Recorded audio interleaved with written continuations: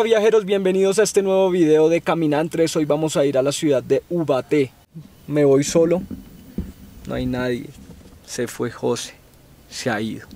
Bueno viajeros, buenos días, ¿cómo me les va? Ya estamos por acá en el portal norte donde se aborda la flota para Ubaté. Debe estar bravo, debe ir en su bus. Bravito, pero allá él. Bueno muchachos, nos vemos en Ubaté. Gustavo piensa que estoy bravo porque me voy a ir en un bus caminantes. Se trata de eso, de ofrecerles diferentes perspectivas. Ya me encuentro acá en el portal del norte, como ustedes lo podrán notar. Vamos a buscar a ver. Van para todo lado menos para Ubaté. Bueno, vamos a ver qué pasa por acá. Chiquinquirá, Puente Nacional, Barbosa, nada. Chocontá, Villa Pinzón, Nuevo Colón, Venta Quemada, Tierra Negra, Villa Pinzón, Chocontá. Bueno, me tocó irme para la casa. ¿Dónde va usted? ¿Dónde? ¿Usted va para Guaté? Tierra Negra, Nuevo Colón. Tierra Negra, Nuevo Colón. Bueno, viajeros, parece que me voy. Encontré una. Subate, nos vemos. Bueno, viajeros, encontré flota. Me la dejaron en 11 mil. Bueno, vámonos. Venga, téngalo, vecino, téngalo. Dale, aquí nos vamos acomodando. Chao, nos vemos.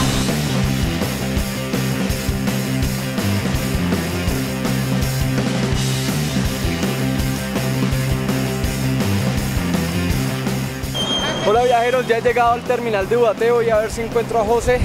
Por acá mandé un joven, no ha llegado. Un José Manuel, ¿no lo han visto por ahí? José Manuel, ¿qué? Lo, lo mandé desde Bogotá y nada que llega. Man se quedó tomando de Se quedó tomando. Ah, bacano. La farra, en la farra. Se quedó en la barra José Manuel. Señores caminantes, bienvenidos a Ubaté. Me acabo de bajar acá en el terminal de transportes. Fue un viaje relajado, una hora y media, casi dos horas. Y miren a qué me acabo de encontrar. Casi no lo encuentro, estaba preocupado. Me iba a volver a Bogotá, iba a buscarlo por toda la carretera. Gustavo Adolfo, ¿cómo te fue? Bien, nada, un viaje un poco incómodo, mucha curva, mucho carro. No es doble calzada, entonces mucha imprudencia. No Ay, me gustó, no me gustó el viaje. Ya no me gustó, no me gustó, no me. No me. Mi conductor se portó muy bien a la No me altura. gustó, no me gustó. Fue un viaje muy ameno para mí. Esto lo hacemos es en pro de que ustedes vean todas las formas de ir. ¡Eso! Los fanáticos. Los fans. Lo hacemos en pro de, lo hacemos, lo hacemos en pro de que ustedes caminantes vean todas las alternativas de llegar a los lugares. Hoy estamos acá en Ubaté. Contamos con la suerte de que están en Ferias y fiestas. fiestas patronales en Ubaté. Eso no se ve todos los días. Nos vamos ya a conocer todos los lugares que tiene Ubaté. Esto para ustedes, caminantes, porque el tercero Eres tú. Hola, bienvenidos a Guaté.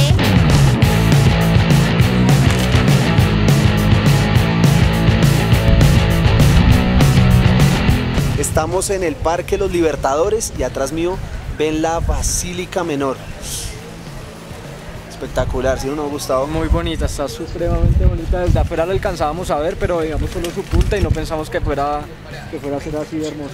En este momento están en culto, pero hacia las 3 de la tarde nos están avisando más o menos que podemos entrar y les vamos a hacer unas imágenes allá adentro para que ustedes puedan conocer la basílica. Sí, no es una basílica cualquiera, no es una basílica normal, tiene ciertos aspectos que la diferencian de otras basílicas del mundo, de otras iglesias eh, de construcción gótica. Entonces vamos a ver en qué se diferencia y vamos a mostrarles un poco por dentro la, la- la basílica. Quiero presentarles acá a nuestro amigo Carlos. ¿Qué tal caminantes? ¿Cómo están? Bueno, Carlos muy amablemente nos invitó acá a este su municipio. A este gran amigo lo hicimos en esa feria de las colonias y nos encontramos acá ya con él, acá en el, ¿cómo dígale usted? En la villa de San Diego de Ubaté. La villa de San Diego de Ubaté, todos lo conocemos como Ubaté, por eso nos encontramos con él, con el experto que nos va a llevar a conocer lugares maravillosos.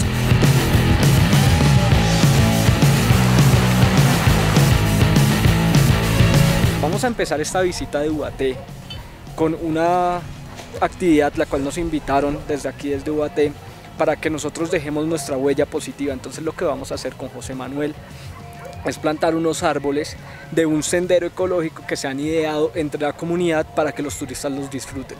Entonces vamos a ayudar, vamos a colaborar y entre todos vamos a hacer esos huecos y vamos a, a tratar de, de- de dejar nuestra huella positiva aquí en, en UAT.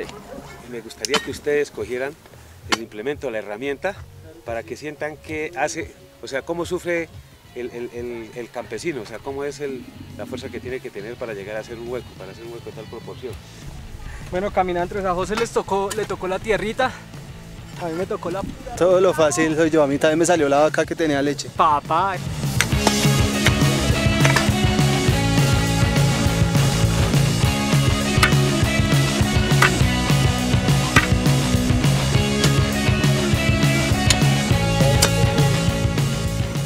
Con la huella no solamente dejar nuestro aporte positivo a nuestros destinos, sino también conocer el trabajo de los campesinos, de las personas que tienen que levantarse todos los días y hacer esta labor. Entonces pues también hemos logrado un poco meternos en los zapatos de las personas, meternos en los zapatos de esas personas caminantes. ¿Le ha gustado? Estoy esperando. Ah, está comodito, José Manuel. Bacana la huella de José. Ya entendemos por qué lo cuajadito de, de José Manuel. Cuajadito dicen por allá. La invitación que le hago hoy, que ustedes sean, sean portadores del mensaje de que se- debemos adoptar un árbol, debemos sembrar un árbol, debemos cuidar nuestra naturaleza. Y sería enseñar a sembrar un árbol, que es lo creo lo más importante, que es lo que requiere nuestro, nuestro planeta. Esta es cal hidratada, Esto es cal hidratada, que se esparce Que se esparce por todo el hueco para que calcifique la tierra y elimina placa- plagas. y elimine todas las plagas que hay en la tierra. Como esta tierra de aquí ha sido explotada durante tantos años, es una tierra ya muy erosionada. Entonces pues toca colaborarle a los nutrientes de la planta echándole una capa de tierra negra, que es una tierra buena para la planta, ¿no?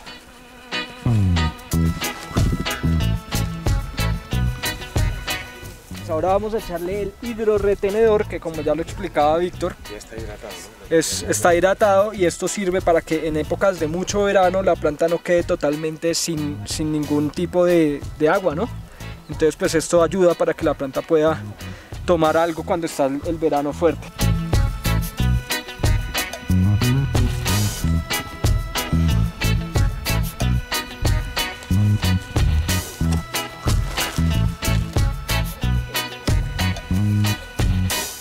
Agradecerle al grupo Camina 3 primero que todo por su, por su ejercicio que hace, ya que Dios los bendice para, para estar haciendo este ejercicio, desplazarse hasta estos sectores. Y no se cansen, yo, porque van a tener tropiezos, Dale. pero no se cansen. Gracias, don Víctor. Y la planta que le hago entrega ya de sembrar un cucharo, le hago entrega de un ciro. Caminantes, terminamos. Es un pequeño granito y esperamos que ustedes también aporten un poco a esto.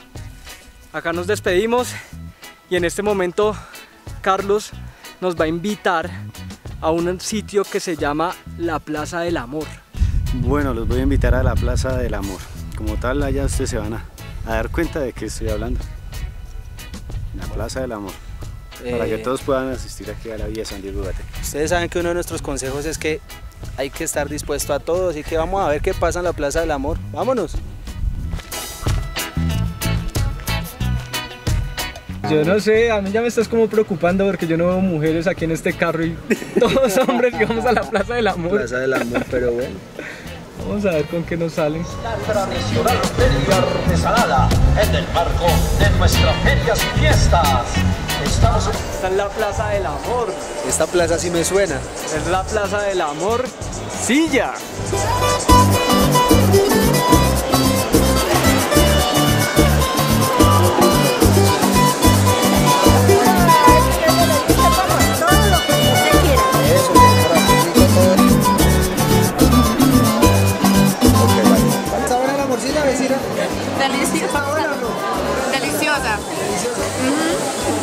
Andrés, ¿qué vamos a comer?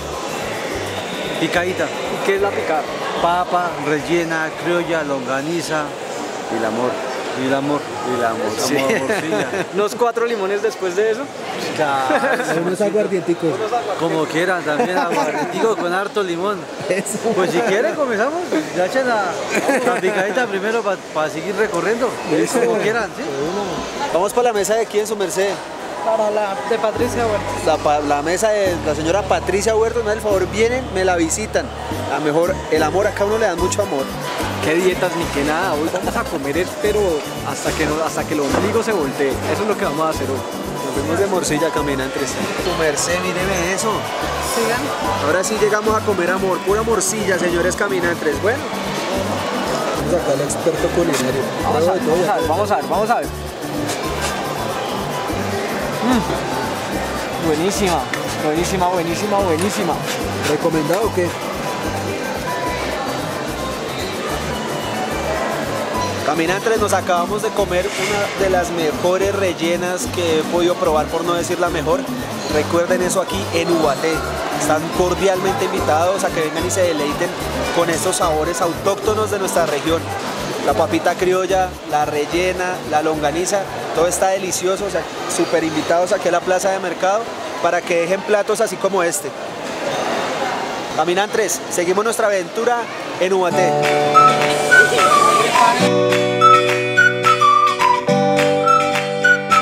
Ya en este momento nos disponemos a ir hacia Cucunúa. Cucunúa es un municipio muy cercano que se caracteriza por su arquitectura colonial. Nos recomendaron ir allá a hacer unas muy buenas fotografías, entonces ya estamos arrancando hacia allá. Ya estamos arrancando, Ya estamos arrancando ya estamos arrancando. y nos fuimos.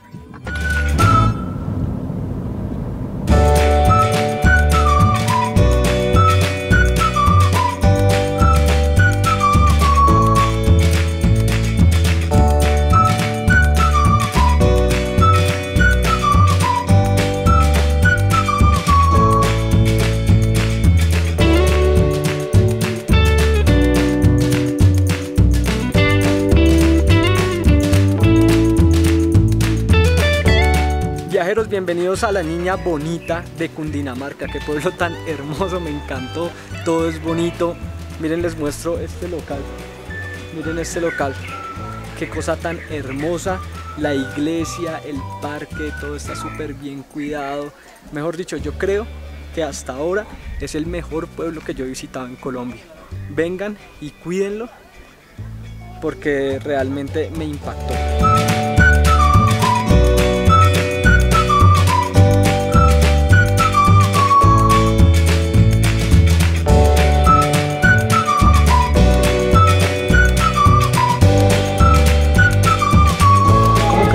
Acá, caminantes? Y me aceptan las señoritas acá vivir. Soy buena persona. Trapeo, barro, plancho. ¿Cocina? ¿También? cocino. Amigos caminantes, nos despedimos de Cucunoa, la niña bonita del Valle de Ubaté. Un pueblito súper bonito, todo puesto en su lugar, un silencio que te transporta, un lugar súper recomendado para que vengan a visitarlo y se tomen un buen café, se coman una oblea, un rico postre. Están súper invitados. Caminantes de regreso a Ubaté, donde nos está esperando nuestro amigo Carlos con una muestra cultural de todos los chicos, adultos, jóvenes de la Escuela de Arte.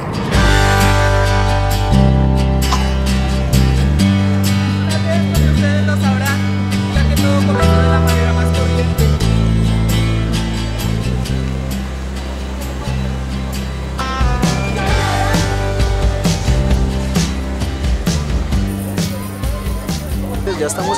Plaza Central de Ubaté y nos disponemos a ver unas bellas presentaciones artísticas, musicales, teatrales. Bienvenidos, eso es lo que queremos mostrarles, cultura. El perro del celador, señores, había muerto la noche anterior después de 25 años de trabajo. Era un perro muy viejo. Cuando vengan acá a Ubaté, se van a encontrar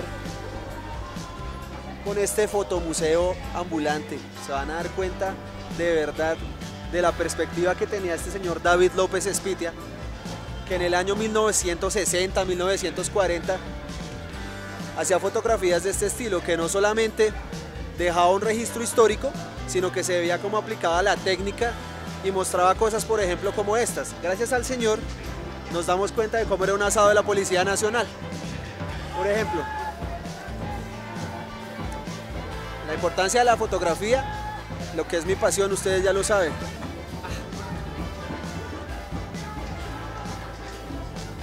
Barranderos hemos sido toda la vida.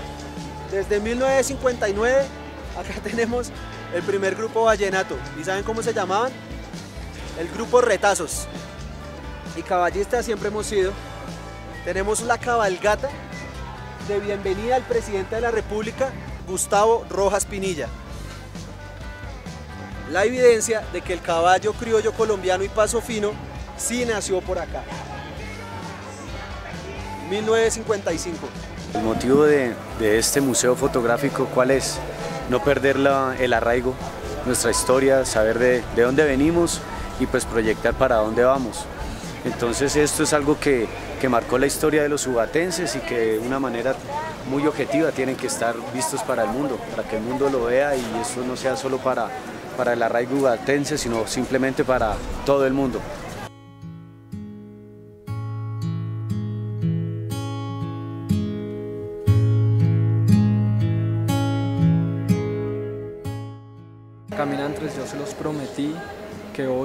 Íbamos a entrar a- aquí a la basílica. Pero todo el día han estado en rezos y en misa, entonces ni modo. Les tengo una muy buena noticia y es que nos dejaron subir a nosotros, a ustedes, al campanario. Vamos a ver, vamos a ver de qué se trata.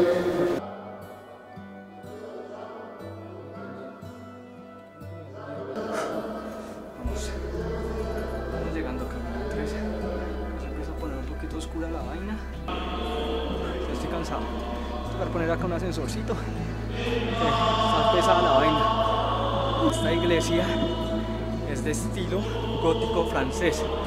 Su interior, su interior es barroco y tiene unos vitrales que más adelante les voy a mostrar. Uy, todavía queda más.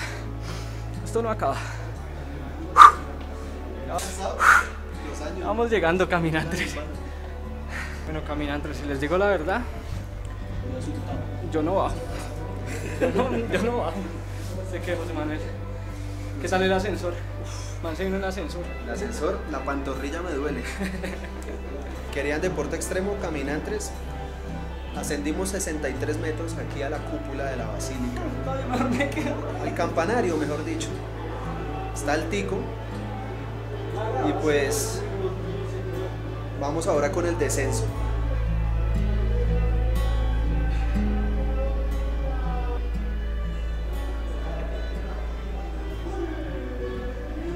Amigos viajeros, acabamos de subir 63 metros hasta el campanario de la Basílica Menor Dubaté, es decir, la parte más alta. Ahora que ya estamos abajo, vamos a ir a ver unas danzas artísticas. Hay muchos bailarines presentándose, entonces vamos a ver, vamos, vamos, vamos.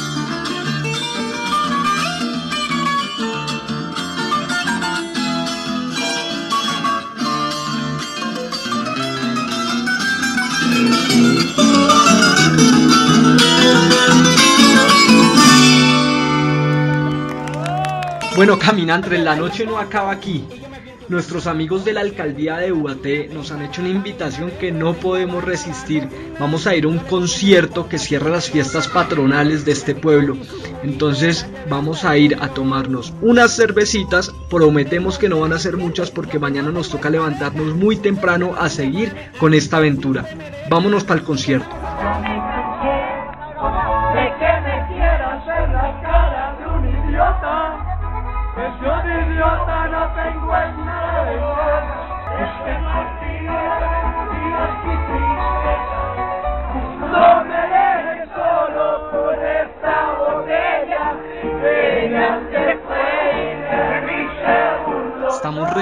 Después del concierto. Fue un día muy especial. Tuvimos cultura, gastronomía, arquitectura.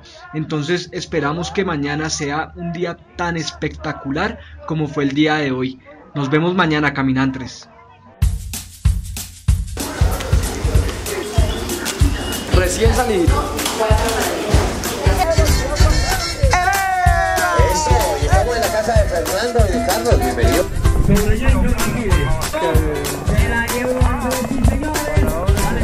Caminantes, bienvenidos a la villa de San Diego de Cuba.